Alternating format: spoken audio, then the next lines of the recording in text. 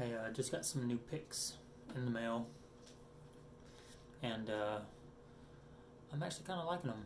The purple pick and the black pick are kind of my go-tos, uh, and always have been. The purple one especially. Uh, I recently added in the Fender Heavy, and then I just bought the Jim, Dun- Jim Dunlop, the Tortoise, the Pyramid, and the, the Hense. Um, so uh, look forward to seeing those more in action. But for now,